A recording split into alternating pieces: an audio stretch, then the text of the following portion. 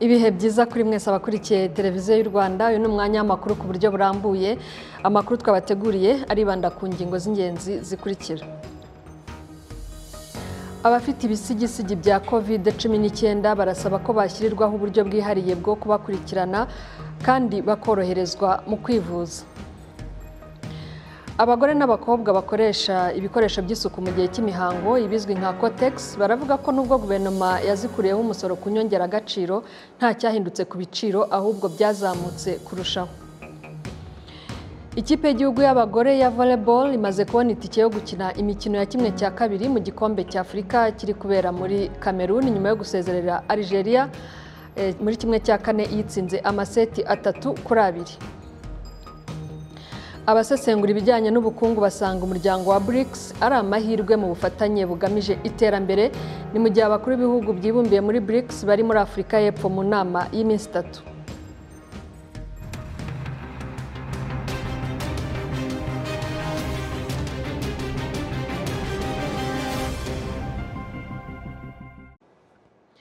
Tubahaye ikaze muri aya makuru mugiye kugezwaho nanjye Leonce Kanzayire mfatanyije na Fidel Irizaba imbuto dore amakuru ajyanye n'ubuzima aho abafite ibisigisigi bya covid cumi n'icyenda basaba ko bashyirirwaho uburyo bwihariye bwo kubakurikirana kandi bakoroherezwa mu buvuzi. Ibi barabivuga mu gihe ishami ry'umuryango w'abibumbye ryita ku buzima oms ritangaza ko icumi ku ijana by'abakize covid cumi n'icyenda bagaragaza ibibazo bitandukanye bakomora kuri iki cyorezo. Ni inkuru tugezwaho na bosco kwizera.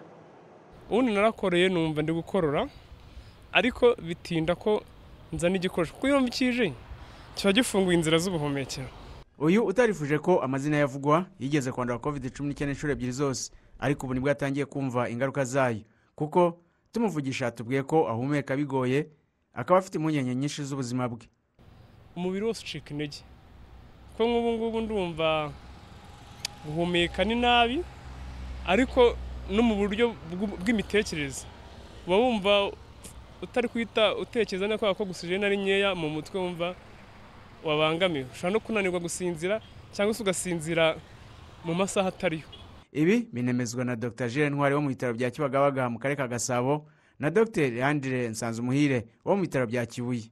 Akenshi baza bafite ibibazo bijyanye no guhumeka. Ukuvuga ngo bakubwira ati ugereranyije iyo nkora nka siporo cyangwa se ndimo ndakora imirimo runaka mu rugo numva ntameze neza. So ndakora ariko nkumva hari ahantu umwuka ubaye muke. So iyo tubasuzumye tukabakora ibizami haba sikaneri n'ibindi usanga mu by'ukuri bafite inkovu icyo twita langa fibrosis mu bihaha akenshi turabibona. Mu bijyanye n'imyororokere hari abantu baza bakatubwira ati ariko muganga kuva nagira cya kibazo cya kovide bisa nk'ibyagabanutse ntabwo imbaraga zikiri za zindi tugakora nk'ibindi bizamini tukareba ko nta kindi kibazo kibiri inyuma. Ugasanga koko ukoze ubushakashatsi neza ugasuzuma uwo murwayi ukamuha umwanya ugasanga bifitanye isano no kuba yaragize kovide nk'uko yagiye mu zindi ngingo no kuba yagira ikibazo mu misemburo yo kwibaruka na byo biracyakorwaho ubushakashatsi ariko birazwi. Aba bagaragaza indwara z'igihe kirekire basigiwe n'icyorezo cya covid cumi n'icyenda barifuza ko hashyirwaho itsinda ry'abaganga ryihariye rishinzwe kubafasha ndetse no kubunganira mu buvuzi. Ku muntu wagizweho n'izi ngaruka biratugora. Kuko ushobora no kujya kwa muganga nabo bakagukonsidera nk'umuntu uri bwivuze mu buryo busanzwe. Kandi nyamara ushobora kuba risike yo guhita ugira ikibazo ukabura umwuka kuko umuntu aba yumviye no gupfa yapfa. Urumva muri uko gutinda bagufata nk'abandi bose kandi wenda ufite ari ingaruka zituruka kuri icyo cyorezo hakeneye sapoti kugira ngo umuntu aba yanafashwa kwivuza neza. Umuyobozi w'ishami rishinzwe kurwanya ibyorezo mu kigo cy'ubuzima rbc dr. Edizo rwagasore yemeje ko hari benshi barimo kugaragaza ibimenyetso by'indwara batewe no kurwara covid cumi n'icyenda bityo mu bitaro byose biri mu gihugu hari itsinda ryashinzwe kubitaho. Kuri iyo mpamvu ni bwo twaganishije mu kugira ngo duhugure abaganga n'ibigo nderabuzima byose kugira ngo nibura bashobore gutahura abantu bashobora kuza bafite ibimenyetso no kugira ngo babohereze mu bitaro kugira ngo babone serivisi. Kugeza ubu ngubu serivisi ziri ahantu mu bitaro byose mu gihugu ku buryo dushaka kugira ngo tuzihuze na serivisi zisanzwe zikora zijyanye n'ubuvuzi bw'indwara zitandura ku buryo babona ubuvuzi mu buryo buhoraho uh, bakaza bagapimwa bakabona n'imiti ibakwiriye. Mu rwanda buri cyumweru hagaragara abanduye covid cumi n'icyenda bari munsi y'icumi bakitabwaho nk'uko dr. Edizo rwagasore uyobora ishami rishinzwe kurwanya ibyorezo muri rbc abisobanura. Kugeza ubu ngubu umurwayi wese uje arwaye tugasanga yuko afite ibimenyetso icyo gihe tumuha umuti. Mbere ntabwo byari bisanzwe na mbere tuba tuzi ko covid itagira umuti ariko ubu ngubu dufite umuti witwa paxovid.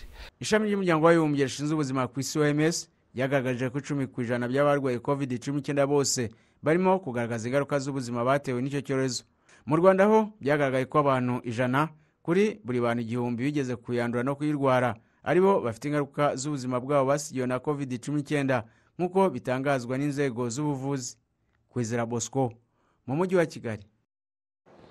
Bamwe mu bagore n'abakobwa bakoresha ibikoresho by'isuku mu gihe cy'imihango bizwi nka cotex bavuga ko nyuma y'imyaka ine guverinoma izikuriyeho umusoro ku nyongeragaciro nta cyahindutse ku biciro ahubwo byazamutse kurushaho. Bakaba basaba leta kugira icyo ikora bakoroherezwa kubona ibi bikoresho by'isuku. Inkuru irambuye twayiteguriwe n'uwitonze providence shadia ni abana b'abakobwa babiri bavukana ubasanze mu rugo usanga bakora imirimo itandukanye. Bavuga ko bishimira uko babayeho kuko ababyeyi babo bagerageza gushaka ibisubizo mu muryango ariko imbogamizi ikaba ibikoresho by'isuku mu gihe bari mu mihango ngo kuko bihenze cyane. Mu rugo turi abakobwa babiri. Ubwo urumva ni ibihumbi bitatu ku bakobwa babiri. Ku bushobozi rero bw'umuntu uri wo mu cyaro nkatwe ntabwo bupfa kuboneka.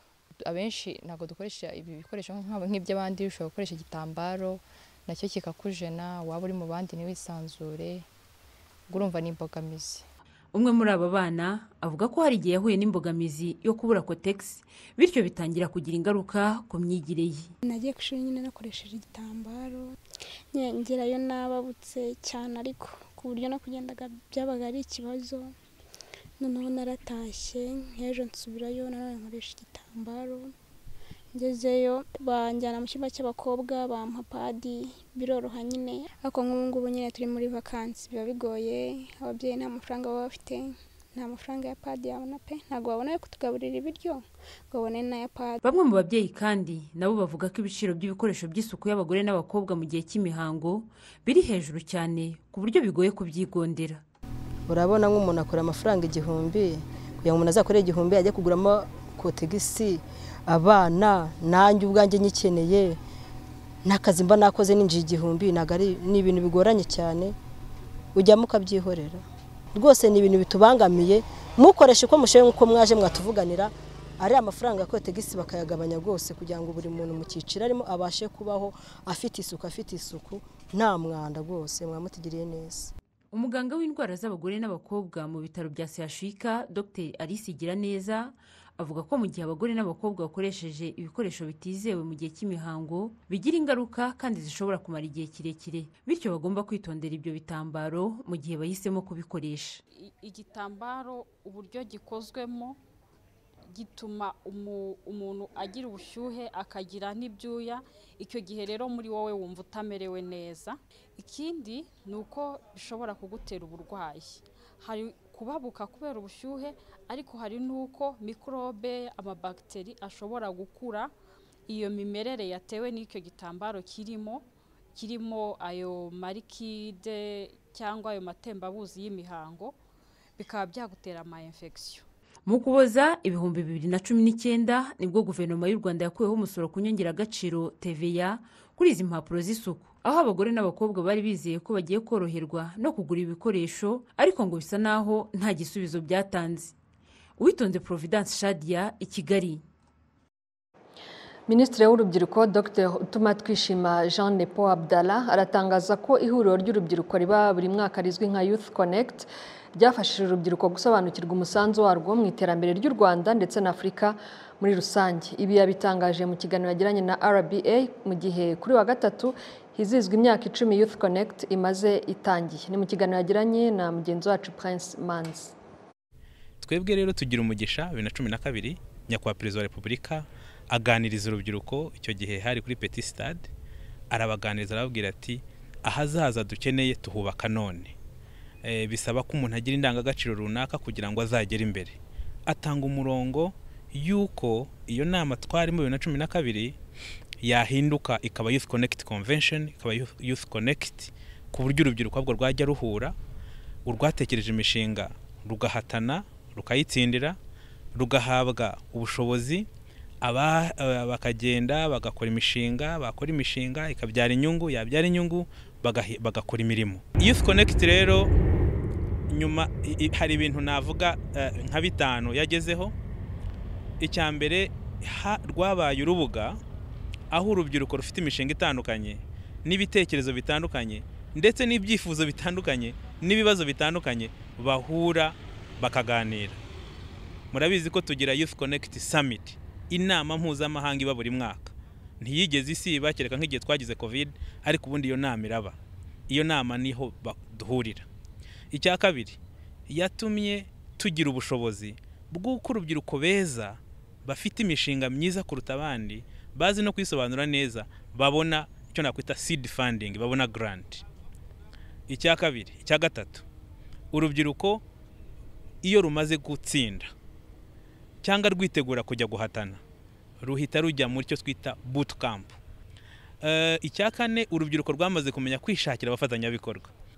Eh, iyi myaka icumi rero ni icyerekana yuko ufite icyerekezo wagihawe nk'uko twagiharanira kwa perezida wa repubulika ukacyubaka neza ukagikurikirana ukagiha politiki zizagikurikira ukagiha policies ukagira n'urubyiruko ruri committed rufite ubushake kigera ku musaruro.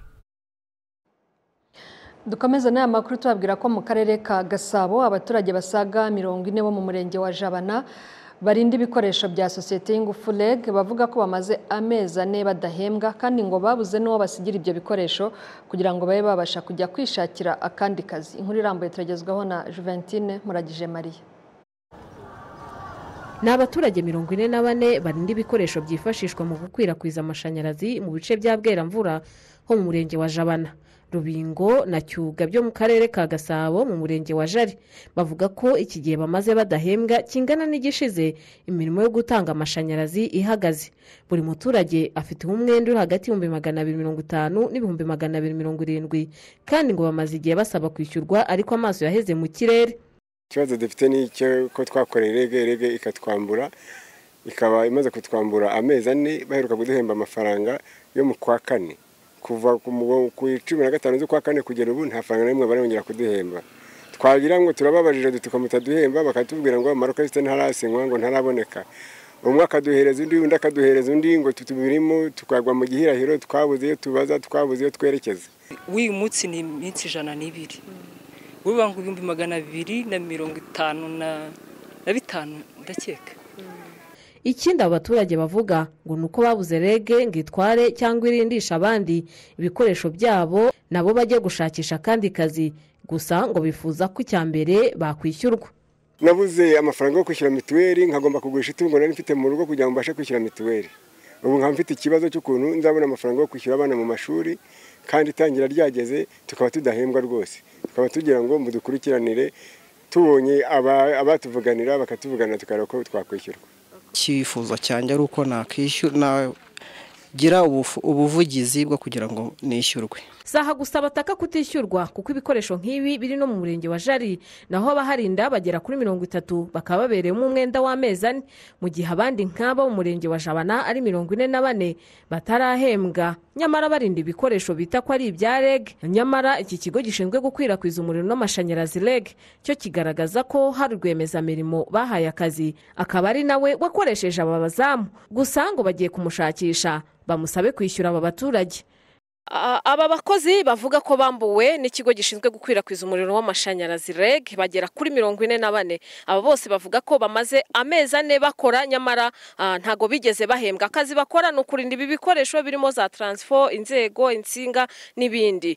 Amafaranga baberewemo ari hagati y'ibihumbi magana abiri mirongo itanu n'ibihumbi magana abiri mirongo irindwi. Jiventine muragije mariya i kigali.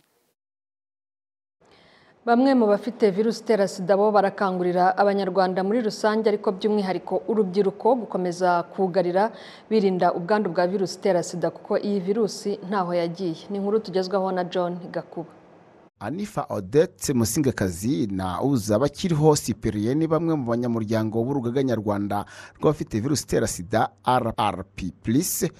Bakaba bishimira intambwe u rwanda rugezeho mu kwita ku banduye virusi itera sida haba mu bujyanama n'uburyo bahabwa ibinini bimara amezi atandatu.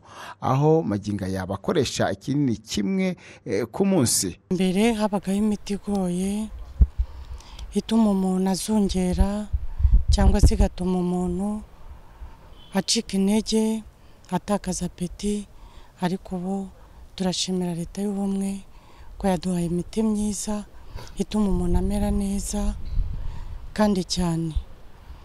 Ni ikinini kimwe ufata rimwe ku munsi ubuzima bwawe bugakomeza. Avuga ko amaze imyaka itari hasi ya makumyabiri amenye ko yanduye virusi itera sida kandi ko kuva iyi gahunda y'ikinini kimwe ku munsi imaze imyaka isaga irindwi yatumye gahunda z'iterambere ryabo n'igihugu irushaho gukomera nk'uko byemezwa na mugenzi we uza bakiriho sipiriya ubu ngubu akazi turagakora dufite imbaraga imibereho nta kibazo mbese turi muri sosiyete nyarwanda nk'abandi bose nta kibazo. Ubu ngubu byatugabanyirije kujya duhora kwa muganga. Ikindi kintu cyiza badukoreye ubu ngubu uragenda igihe ufata imiti neza uragenda ugafata imiti ushobora gufata amezi atandatu. Tambuka deo ni umuyobozi w'urugaga nyarwanda rw'abafite virusi itera sida. Ugaruka ku kibazo cy'urubyiruko ku bwandu bwa virusi itera sida. Mu rubyiruko ni ho hakiri imbogamizi zimwe na zimwe z'imyumvire n'imimerere yabo. Kumva yuko sida ari indwara nk'izindi. Hari abo usanga batitabira kwipimisha n'abipimishije ugasanga imiti ntabwo bayiha agaciro ngo bayinywe ku gihe. Bituma yuko ibazahaza ariko ku kigendanye n'intambwe yatewe turi igihugu cy'u rwanda kiri mu bihugu bitanu bya mbere byageze ku ntego zihawe n'umuryango ushinzwe kurwanya sida ku isi. Simeho tuyishime umukozi w'ikigo cy'igihugu gishinzwe ubuzima rbc ishami rishinzwe ubuvuzi bwa sida twamubajije impamvu mu gihe gisaga imyaka makumyabiri imibare y'ubwandu bwa sida mu rwanda ihora kuri gatatu ku ijana. Impfu zabo zaragabanutse cyane. Ufite virusi itera sida aba afite amahirwe yo kubaho igihe kirekire ubuzima bwe bwose. So nubwo wenda n'abandi turacyabona abandura yego cyane cyane biganje mu rubyiruko ariko ugasanga atari benshi ugereranije n'aba bandi bashobora kuba bavuga ngo twagiraga mu myaka yabanje ya kera batarabona imiti igabanya ubukana bwa virusi itera sida. Rbc ivuga ko kugeza ubu abanduye virusi itera sida bari muri gahunda z'ubuvuzi bagera mu bihumbi magana abiri na makumyabiri. Byongerwa kuba i kigali. Mu makuru ajyanye n'imiturire hari abagituye mu nzu zisakaje amategura bavuga ko uko bagenda babona ubushobozi bagenda bazivugurura bagasakaza amabati kuko ngo basanga ariyo agaragara neza. Jean paul maniraho mu nkuru irambuye itegura ze? Oya. Karekezi pascal w'imyaka mirongo inani n'itatu na ishimwe anuwarite w'imyaka makumyabiri n'umwe y'amavuko bavukiye bombi mu karere ka muhanga. Ishimwe avuga ko yamenye ubwenge abona amategura yiganje mu mujyi wabo. Mu gihe umusaza karekezi we inzu yitegura ya mbere yazamuwe muri uyu mujyi amaze kuba ingimbi. Mbese amategura yatangiye kuza ku gihe cya rudahigwa. Avuga ko icyo gihe gutunga inzu yitegura byagaragazaga ubukungu cyangwa ubukire. Wabaga afite itegura yabaga ari umukire. Nk'uko ubu ngubu ufite imodoka nk'iyi aba ari umukire. Muri iki gihe ibintu byarahindutse. Ishime anuwarite avuga ko akundanye n'umusore ufite inzu yitegura kuvugurura iyo nzu byaza mu nshingano y'imbere urugo rwabo rugomba kwitaho. Ntabwo nabimurenganyiriza kuko ashobora kuba wenda ari bwo bushobozi yari afite atarabona yo kugura ibati. Ariko namushishikariza ko nyine aba ari ryo tuzasakaza. Ibarura rusange ry'abaturage n'imiturire ryo mu mwaka wa bibiri na makumyabiri na kabiri ryagaragaje ko bitatu bya kane by'abanyarwanda batuye mu nzu zisakaje amabati. Gusa mu karere ka muhanga ho bitatu bya kane by'abaturage bose baracyatuye mu nzu zisakaje amategura. Abatuye mu mujyi wa muhanga bavuga ko nihaboneka ubushobozi inzu zose z'amategura zizasimbuzwa iz'amabati cyangwa amategura akorerwa mu nganda. Ndateganya nyine kuzarivamo nimbona ubushobozi. Inzu yawe se ko tubona ari nziza? Nyine ubwo yari igezweho ariko nyine turi kugendana n'ibigezweho bindi. Itegura ni irya kera ku bw'abakoroni ariko ubu ngubu ibati nyine aho tugeze muri viziyo tugomba gushyiraho ibati. Ibati urabona zitagaragara neza ukora igisenge neza ukakimanika cyane ariko itegura nta ndwara imanika. Ntabwo bashaka amategura amategura ntabwo ari viziyo. Cyane ko nta n'amashyamba akibaho abantu bakubakisha. Ubwo rero amabati bashyiraho n'amatibe. Noneho bakorohereza amashyamba kugira ngo akure. Umuyobozi wungirije ushinzwe iterambere ry'ubukungu mu karere ka muhanga bizimana eric avuga ko amategura n'amabati byose byemewe kubakishwa muri aka karere ariko amahitamo y'abaturage ubuyobozi burayubaha kandi bukanaborohereza kubigeraho. Nkubwiye ngo dufite ingamba zo kugira ngo dusabe abaturage bavane amategura aho naba mbeshye. Ahubwo icyo tubabwira tubabwira ati turashaka umujyi ukeye. Umujyi ujyanye n'icyerekezo cy'igihugu. Niba ashatse tugenda ashaka kuvanaho amategura cyangwa amabati. Tumubwa uburenganzira kuko umuturage afite uburenganzira mu rwanda abatuye mu nzu zisakaje amategura bagera kuri makumyabiri na batanu n'ibice bitandatu ku ijana mu gihe abatuye mu nzu zisakaje amabati ari mirongo irindwi na kane n'ibice cumi na bitanu ku ijana. Inzu z'amategura ziganje mu ntara y'amajyepfo ku kigereranyo cya mirongo itandatu n'ibice birindwi ku ijana ndetse uturere twose ukuyemo kamonyi umubare w'abatuye mu nzu z'amategura uraruta uw'abatuye mu z'amabati. Iburasirazuba no mu mujyi wa kigali inzu zisakaje amategura ntizirenga rimwe ku ijana. Akarere ka rutsiro niko gafite amategura menshi kuko abaturage baho bagera kuri mirongo inani na batandatu ku ijana baba mu nzu zisakaje amategura. Ni mu gihe ikigereranyo rusange cy'abatuye mu nzu z'amategura muri iyi ntara y'uburengerazuba ari mirongo ine n'ibice birindwi ku ijana. Mu ntara y'amajyaruguru abatuye mu nzu z'amategura bagera kuri makumyabiri ku ijana bakaba biganje mu turere twa rurindo na gakenke. Ibara rusange ry'abaturage n'imiturire rya bibiri na makumyabiri na kabiri rigaragaza ko inzu zisakaje amabati ziganje mu mujyi amategura akiganza mu bice by'icyaro. Jean paul maniraho mu karere ka muhanga.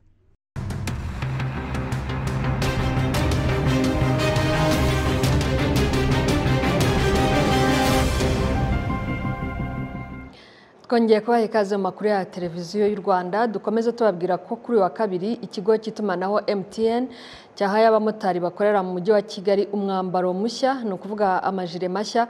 Abamotari kandi bakaba basezeranyijwe ko bazajya bafashwa kubona ubwishingizi bw'ibinyabiziga byabo bakagenda bishyura buhoro buhoro. Inkuru irambuye na jean paul turatsinze. Muri sitade ya peri nyamirambo abamotari bakora mu mujyi wa kigali bari babukereye baje gufata umwambaro mushya bamwe bawubonye ariko kubera ubwinshi bwabo abandi babwirwa ko bazawushyikirizwa muri koperative zabo. Ababonye uyu mwambaro bawishimiye ariko nabo basaba ko bawubonaho inyungu. Icyo twishimiye kigaragara ni ukuba twambara amajire wenda agezweho no kubona iyo kode byoroheje bigezweho ariko uburyo bwo kuvuga ngo amafaranga ku mumotari azajya aza byoroheje amugereho nka avantaje iri ku ruhande. Umuntu wamamaza uwo ari we wese yaba ari ufite inzu iyo bamusigiye irangi agira uburyo bamuha n'amafaranga. Babikoze byatubera byiza natwe twamamaza tugira n'inyungu y'uko twambaye iyo myenda y'akazi. Icyifuzo twari dufite twari twagejejeho ko bazaduha dukeneye imyambaro ibiri none babitwemereye ndumva rwose baramutse baziduhaye nta kindi kibazo kindi. Amajire yo twayabuze rwose. Byajemo akavuyo nawe hari abari bawunyotewe kubera ko bari bafite ushaje ariko bataha amaramasa turayanyotewe kuko aya mbere yarashaje sibyo? Ariko kuduhamagara ngo tuze tuyashyikire barangiza bakayatwima ntacyo bivuze. Jire bagiye kuduhangira nabo bayihaye numvise nishimye. Kuba ngiye gutaha nta jire mbonye rwose birambabaje batwijeje ko bazatugabanyiriza sirase twabyishimiye. Nibaramuka babishyize mu bikorwa. Amajire ndabona atari kuboneka. Na bya bibazo bindi tugifite bigendanye n'ubwishingizi turi kumwe na ubuyobozi bwa radiyanti batwemereye n'ubuvugizi ndetse na leta yakomeje kubikoraho na byo mu minsi mike biraba birangiye. Ni amasezerano hagati ya sosiyete y'itumanaho ya emutiyene n'umujyi wa kigali. Umuyobozi w'uyu mujyi pidanse rubingisa yagaragaje ko nta mafaranga ari muri aya masezerano ahubwo bizafasha kunoza isuku no gufasha abamotari gukoresha ikoranabuhanga. Buri muntu azajya abona amajire abiri tugateganya ko icyo gihe igihe yameshe umwe atabura icyo yambara ariko nyuma y'izo ebyiri uwawuta yajya asabwa kuba yatanga ikiguzi. Turateganya ko cyaba hagati y'ibihumbi bine cyangwa bitanu akaba yagura undi mwenda amaze guhabwa iyo ibiri y'ubusa. Ni gahunda twumva ko izadufasha kugira ngo bakore umwuga neza tumaze iminsi tuganira nabo dufatanyije na polisi y'igihugu kugira ngo bibutswe uko bitwara mu muhanda bubahiriza amategeko yo gutwara. Muri gahunda ya gerayo amahoro kandi iyo na yo tukayihuza n'isuku.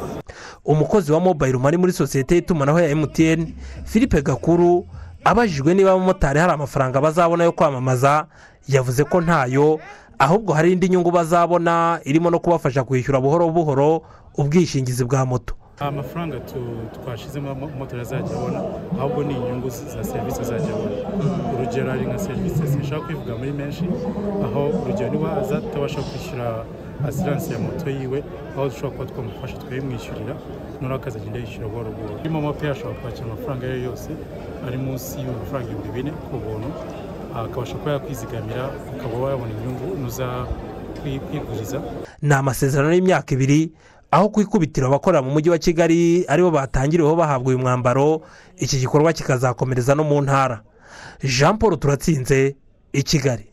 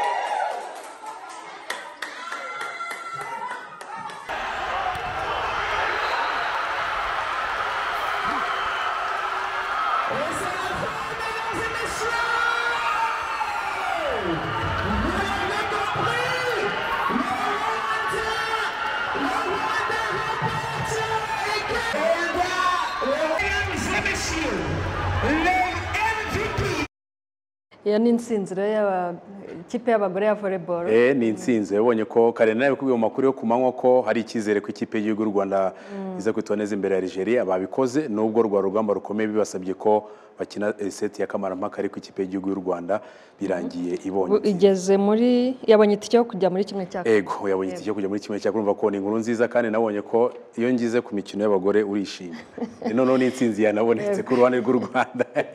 Reka rero nibutse ari naho mpera ni ikipe y'igihugu y'u rwanda iherereye i yaounde mu murwa mukuru w'igihugu cya cameroon ni ikipe yitabira igikombe cya afurika cy'umukino w'intoki wa volleyball. Eh, mu bagore ikipe y'igihugu rwanda rero yakinaga umukino wa kimwe cya kane bakinnye na algeria. Byasabye ko bakina seti ya kamarama kuko algeria yegukanye amaseti abiri ya mbere makumyabiri n'atanu kuri makumyabiri n'atatu seti ya kabiri algeria na yo irayegukana makumyabiri n'atanu kuri cumi n'atanu. Hanyuma u rwanda ku iseti ya gatatu rwaje kuyegukana makumyabiri n'atanu kuri cumi n'umunani rwegukana n'iseti ya kane yari n'iya kabiri ku ruhande rw'u rwanda amanota makumyabiri n'atanu kuri makumyabiri n'atatu. Muri volleyball rero amakipe anganya amaseti abiri kuri abiri haba hagomba kuboneka iseti ya kamarampaka cyangwa se iseti ituma ikipe ibona intsinzi y'amaseti atatu ariyo bakina amanota cumi n'atanu. U rwanda rwegukanye bisabye ko bagera aseze nk'aba- nk'abazi ibya volleyball uko bigenda rero u rwanda rutsinze seti ya gatatu amanota cumi n'atandatu kuri cumi n'ane. Ubwo mu mikino ya kimwe cya kabiri ku munsi w'ejo u rwanda ruraza guhura na misiri. Misiri yo yasezereye eh, ikipe ya uganda yitsinze amaseti atatu. Ku busa mu ikipe ya rayon sport ni umukinnyi wo mu kibuga mpuzamahanga w'umurundi yitwa ah, christian mbirizi uyu yaraje mu ikipe rayon sport atanzweho miliyoni cumi n'eshanu z'amafaranga y'u rwanda. Uno musore rero nyuma yo kumara igihe kinini atabona umwanya wo gukina yegereye ubuyobozi bw'ikipe ya rayon sport abasaba ko bamurekura agashaka aho yakina abona umwanya ndetse n'ubuyobozi buramwumva. Rero amakuru ahari ni uko uno mukinnyi hagati y'ubuyobozi bwa rayon sport ndetse na gasogi united bumvikanye ku buryo uno mukinnyi rayon sport yamutiza mu ikipe ya gasogi united. Mu karere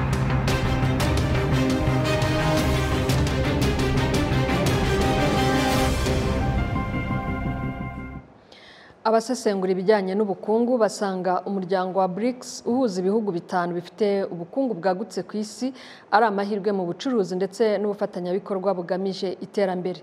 Ni mu gihe abakuru b'ibihugu byibumbiye muri BRICS bari Johannesburg muri Afurika y'Epfo mu nama y'iminsi itatu Pasco Buhura arakomeza. Mu mwaka w'ibihumbi bibiri na rimwe ni bwo umwongereza w'umuhanga mu bukungu jim o'neill nyuma yo kureba ibihugu bine byazamukaga byihuse mu bukungu ku isi. Yahimbye ijambo bric rikubiyemo inyuguti zihagarariye buri gihugu. Ni ukuvuga brazil india cyangwa ubuhinde russia uburusiya china cyangwa ubushinwa. Icyo gihe yateganyaga ko kugera muri bibiri na mirongo itanu ibi bihugu bizaganza ubukungu bw'isi. Nyuma byaje kwibumbira hamwe mu muryango bifashishije iyi nyito ndetse muri bibiri na cumi hiyongeramo afurika y'epfo. Maze icyari bric gihinduka brics. Guhera kuri uyu wa kabiri abayobozi b'ibi bihugu bari mu nama y'iminsi itatu mu mujyi wa johannesburg muri afurika y'epfo mu nama yabo ya cumi na gatanu. Ni inama ihanzwe amaso na benshi mu isi iyobowe n'igihangange leta zunze ubumwe za amerika ihurirwamo n'abakeba bacyo babiri bivuze ubushinwa n'uburusiya. Umusesenguzi mu bukungu kwizera seti abona kubaho k'uyu muryango hari impinduka byazanye ku isi. Ni ukuramforusa uriya mukeba uriya mukonkera w'abanyaburayi ndetse na amerika kubera ko bwabyo kujya kumva ngo rashiya china niyo bavuga gusa ibyo bihugu byonyine bibiri ngo byishyize hamwe ariko kongeraho n'ibindi za brezil n'ibindi byinshi biri ngo gusaba kwinjira muri brics. Biragaragaza yuko noneho ubu ngubu ntabwo kontorore ya bizinesi kontorore ya ekonomi ku isi ntabwo ikiri ku ruhande rumwe rw'uburayi cyangwa amerika. Ni ugaragaza ko hari ikindi hari urundi ruhande rufite imbaraga. Kuri ubu bihugu bigize brics byihariye mirongo ine ku ijana by'abatuye isi ndetse na hafi mirongo itatu ku ijana by'umusaruro mbumbe w'isi yose gdp perezida w'uburusiya vladimir putin yitabiriye mu buryo bw'ikoranabuhanga kuko ahagarariwe na minisitiri we w'ububanyi n'amahanga. Ni ukuramforusa uriya mukeba uriya mukonkera w'abanyaburayi ndetse na amerika kubera ko bwabyo kujya kumva ngo rashiya china niyo bavuga gusa ibyo bihugu byonyine bibiri ngo byishyize hamwe ariko kongeraho n'ibindi za brezil n'ibindi byinshi biri ngo gusaba kwinjira muri brics. Biragaragaza yuko noneho ubu ngubu ntabwo kontorore ya bizinesi kontorore ya ekonomi ku isi ntabwo ikiri ku ruhande rumwe rw'uburayi cyangwa amerika. Ni ugaragaza ko hari ikindi hari urundi ruhande rufite imbaraga. Ni gute kuki buri gihe ubucuruzi bugomba gukorwa n'ifaranga rimwe ni urugero? Ariko iyo habonetse wenda indi indi indi alternative ni hahandi haba hari balance. Inama ya johannesburg ibaye mu gihe ubushinwa buhanganye na amerika mu ntambara y'ubucuruzi. Uburusiya bwo buhanganye n'ibihugu bigize umuryango wo gutabarana wa nato kubera intambara bwashoje kuri ukraine. Muri uku guhangana ariko ngo afurika biyisaba kureba inyungu zayo. Ariko icya kabiri nanone tukagira mu mutwe y'uko bose inyungu za mbere ni kuri bo mbere y'uko ziba ku zacu. Nubwo baduha karibu batwiyegereza ariko mbere buriya bafite icyo badushaho biba dufite nka materi resources. Ni byiza ko abantu ntabanga gukorana n'abandi yesi ni byiza gukorana n'abandi muri iyo partenariya regional integration ariko nyembona abayobozi b'ibihugu byacu byo muri afurika bakwiye gushyira imbaraga cyane mu kureba ukuntu afurika yakwigira na yo ikaba buroke ifite ijambo atari uko irinze kwisunga cyangwa kugendera mu kwaha kwa rashiya cyangwa se kwa amerika. Abayobozi b'ibihugu bya brics barahura mu gihe ibihugu makumyabiri na bitatu byanditse bisaba kwinjizwamo ku bihugu mirongo ine. Byagaragaje ubushake bwo kuba ibinyamuryango gusa brazil ntishyigikira iyaguka ubuhinde buracyifashe naho ubushinwa uburusiya na afurika y'epfo bishyigikiye kongera umubare w'abanyamuryango bashya. Pasiko buhura televiziyo rwanda. Turagana ku musozo w'amakuru twe twabateguriye ariko mbere yo gutandukana reka tubibutse ko abafite ibisigisigi bya kovide cumi n'icyenda basaba ko bashyirirwaho uburyo bwihariye bwo kubakurikirana kandi bakoroherezwa mu buvuzi. Muri aya makuru kandi twabonye ko abagore n'abakobwa bakenera ibikoresho by'isuku mu gihe cy'imihango bizwi nka kotegisi bavuga ko nubwo guverinoma yakuyeho umusoro ku nyongeragaciro nta cyahindutse ku biciro byazo. Mu makuru y'imikino ho ikipe y'igihugu y'abagore ya volleyball yabonye itike yo gukina imikino ya kimwe cya kabiri mu gikombe cya afurika kiri kubera muri cameroon. Naho abasesengura ibijyanye n'ubukungu basanga umuryango wa BRICS ari amahirwe mu bufatanyabikorwa bugamije iterambere. Mu gihe abakuru b'ibihugu bibumbiye muri BRICS bari muri afurika y'epfo mu nama y'iminsi itatu.